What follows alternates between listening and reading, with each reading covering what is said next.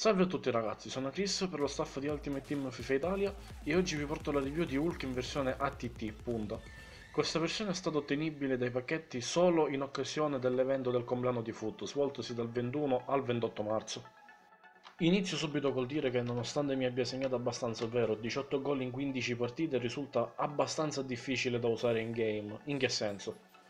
Essendo un ATT adattato, ovvero la sua carta originale è un'ala, non aspettatevi dei movimenti da punta. Lui piuttosto che inserirsi alle spalle della difesa si allargherà, perché ripeto, è comunque un'ala adattata.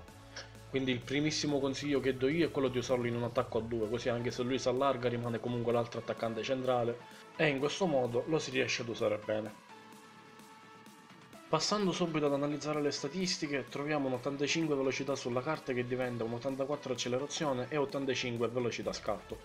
Qui magari da ala questi valori potevano risultare bassi per alcuni che ad esempio se non vedono un 90 velocità sulla carta ignorano quel giocatore, però essendo a TT questa versione, quell'85 è più che ottimo. Passando al dribbling troviamo un 82 sulla carta che diventa un 72 agilità, valore abbastanza basso ma che in game sembra qualcosina in più, solamente 59 di equilibrio che però viene compensato in gran parte dalla forza fisica e quindi non cade comunque nei contrasti, 83 riflessi, 84 controllo palla, 84 dribbling, che gli permettono di saltare l'uomo nella maggior parte dei casi, anche se non sono proprio dei valori altissimi. Per quanto riguarda il tiro troviamo uno dei due veri punti di forza di questo giocatore.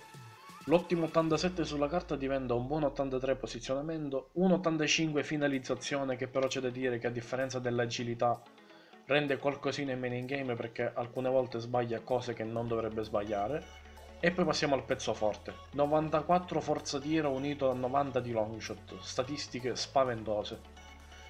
Con lui basta tirare da fuori ed essere posizionati bene per segnare. Tira delle cannonate assurde. Anche da, in partita, se ne avete l'occasione anche da 30-35 metri, tirate perché veramente vi butta giù la porta da qualsiasi distanza. Tornando alle statistiche, troviamo un 73 tiri al volo, che è una statistica abbastanza bassa, però difficilmente vi troverete a tirare al volo con lui. È un 80 per quanto riguarda i calci di rigore, che però c'è da dire che in questo gioco anche un portiere può segnare tranquillamente un rigore, quindi è una statistica abbastanza opinabile.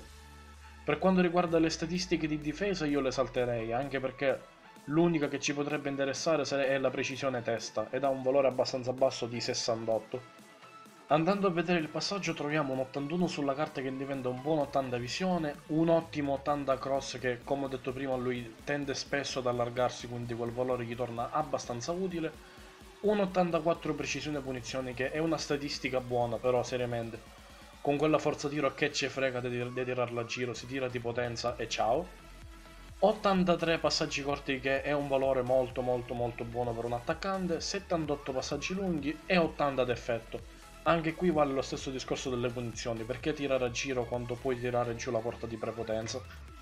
Passando al fisico troviamo un bello 86 sulla carta che si divide in 72 elevazione che è un valore basso e unito al fatto che non sia neanche lui altissimo come giocatore non gliene fa prendere una di testa neanche per sbaglio. 84 stamina, valore abbastanza nella media.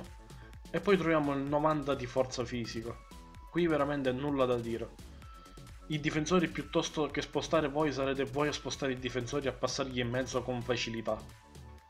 Infine 84 aggressività, anche qui valore abbastanza nella media. Ricordiamo le 3 stelle piede debole e le 4 mosse abilità che lo rendono ancora più versatile di quanto già non possa essere. Per finire andiamo a ripilogare i pro e i contro di questo giocatore. Tra i pro assolutamente forza fisico e tiro uniti alla velocità e alle punizioni. Tra i contro ho messo solo i colpi di testa perché è l'unica vera mancanza di questo giocatore, altri difetti grossi non ne ho trovati. Come voto finale io ho dato un 7,5 non perché non sia un buon giocatore, ma perché per farlo rendere bene dovete incentrare totalmente il gioco su di lui, oppure veramente non rende come dovrebbe.